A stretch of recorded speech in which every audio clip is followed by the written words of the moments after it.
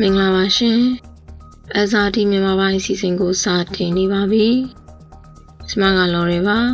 ။ဒီကနေ့တင်ဆက်ပေးသွားမယ့်သတင်းတွေကတော့ရခိုင်ပြည်နယ်အတွင်းဖြစ်ပွားနေတဲ့တိုက်ပွဲတွေကိုရပ်တန့်ပေးရန်ဘင်္ဂလားဒေ့ရှ်မှရိုဟင်ဂျာများဆန္ဒပြရဲဆိုတဲ့သတင်းနဲ့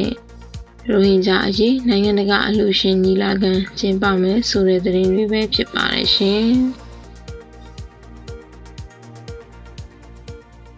မြန်မာကျန်းဖတ်စစ်တပ်နဲ့ရခိုင်စုံရောက်တွေကြောင့်ရခိုင်ပြည်နယ်အတွင်းဖြစ်ပွားနေတဲ့တိုက်ပွဲတွေကိုရပ်တန့်ပေးရန်ဘင်္ဂလားဒေ့ရှ်နိုင်ငံအတွင်းခိုလုံနေတဲ့ရိုဟင်ဂျာများကဆန္ဒပြတောင်းဆိုခဲ့ကြောင်းသိရပါတယ်။တိုင်းပုဂ္ဂိုလ်စီကိုင်းဆောင်ပြီးတယောက်လက်တယောက်ဆွဲကိုင်းကစီတန်းလျက်ရခိုင်ပြည်နယ်အတွင်းကျန်ရှိနေသောရိုဟင်ဂျာများအပေါ်တိုက်ခိုက်ခြင်းတပ်ဖြတ်ခြင်းဖမ်းဆီးခေါ်ဆောင်သွားခြင်းများချက်ချင်းရပ်တန့်ပေးရန်တောင်းဆိုခဲ့ပါတယ်။မြန်မာကျန်းဖတ်စစ်သားများနဲ့ရခိုင်အစွန်းရောက်များရဲ့တိုက်ခိုက်မှုတွေကြောင့်အပြစ်မဲ့ရိုဟင်ဂျာများတေဆုံးနေရတာကိုရှုတ်ချခဲ့ပြီးပြည်တွင်းရှိရိုဟင်ဂျာများရဲ့အသက်အိုးအိမ်စီစဉ်များကိုကာကွယ်ပေးရန်အထူးတောင်းဆိုခဲ့ကြောင်းသိရပါတယ်။အလားတူရခိုင်ပြည်နယ်တောင်ကုန်မြို့မှာ NLD ကိုယ်စားလှယ်လောင်သုံးဦးကိုရခိုင်အစွန်းရောက်တပ်ဖွဲ့ဝင်တွေဖမ်းဆီးသွားတာကိုလွှတ်ပေးဖို့လည်းတောင်းဆိုထားကြောင်းသိရပါတယ်။ရခိုင်ပြည်နယ်နဲ့ချင်းပြည်နယ်ပလောဝမြို့နယ်တွေမှာပြီးခဲ့တဲ့2018ဒီဇင်ဘာလကနေယနေ့အထိအရတားထိခိုက်ဒဏ်ရာရမှု600 168ဦးနဲ့သေဆုံးသူ298ဦးထိရှိလာပြီဖြစ်ကြောင်းသိရပါတယ်။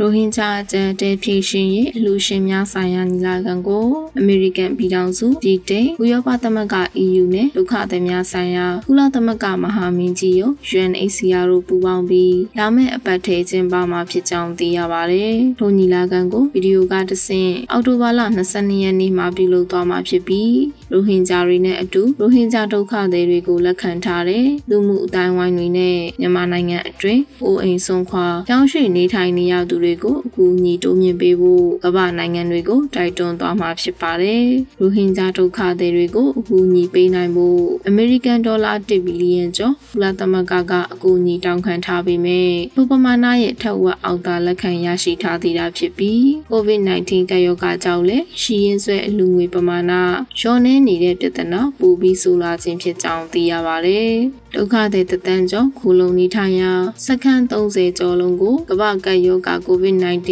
ဖြစ်ပွားမှုကြိုတင်ကာကွယ်တဲ့အနေနဲ့စခန်းအဝင်အထွက်တွေအားလုံးကိုဘင်္ဂလားဒေ့ရှ်အစိုးရနဲ့စခန်းတာဝန်ရှိသူတွေဘက်ကပိတ်ထားတဲ့အတွက်ဘင်္ဂလားဒေ့ရှ်ရောက်ရိုဟင်ဂျာများဟာ COVID-19 ကပ်ရောဂါကာလအတွင်းအစာအစာရှားပါမှုနဲ့များစွာသောအခက်အခဲများကိုရင်ဆိုင်နေရကြောင်းတခန့်ရှိဒုက္ခသည်များရဲ့ပြောကြားချက်အရသိရပါတယ်။ယခုလိုအိမ်ထဲကအိမ်ပြင်မထွက်ရအမိန့်ထုတ်ထားတဲ့အခြေအနေမှာချင်းမြောင်လွန်လာတဲ့တဲအိမ်လေးတွေအခန်းငယ်လေးတွေထဲမှာမိသားစုဦးရေများပြားလွန်လာတဲ့အိမ်အောင်စုတွေပြုတ်သိမ်းစုပြုံနေရတဲ့အတွက်တန်ရှင်းရေးကျန်းမာရေးအတွက်အခက်အခဲများစွာကြုံနေရကြောင်းကုတူပလောင်ဒုက္ခသည်စခန်းအမှတ်9မှာနေထိုင်နေစေတနာဝန်ထမ်းရိုဟင်ဂျာဒုက္ခသည်တူဖြစ်တဲ့ဦးအောင်မြန်ကပြောကြားခဲ့ပါတယ်။စခန်းတွေထဲမှာခိုလုံနေရတဲ့ရိုဟင်ဂျာမိသားစုတွေထဲမှာအိမ်အောင်ဦးစီးနဲ့လူငယ်တွေဟာအပြင်ကိုတရားဝင်ထွက်ပြီးအလုပ်လုပ်ကိုင်ခွင့်မရှိပေမဲ့ကိုဗစ်မတိုင်ခင်ကာလတုန်းကတော့ဤဆက်ရကြေးရွာတွေမှာတောင်ရဆိုင်ခင်းတွေမှာလုံအားပေးပြီးပုံငွေရှာကြတာရှိသလို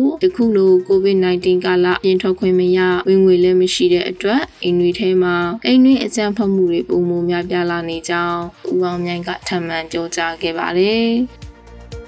SRT မြန်မာပိုင်းအစီအစဉ်ကိုအချိန်နဲ့တပြေးညီကြည့်ရှုနာဆင်နိုင်ဖို့ SRT TV YouTube Channel ကို Subscribe လုပ်ပြီးဘေကခေါင်းလုံးလေးကိုနှိပ်ထားလိုက်ပါ SRT TV သတင်းအစီအစဉ်များကို SRT TV Website SRT TV Facebook နဲ့ Twitter မှာတဆင့်ကြည့်ရှုနာဆင်မှရန်ဖိတ်ခေါ်လိုက်ပါတယ်ရှင်။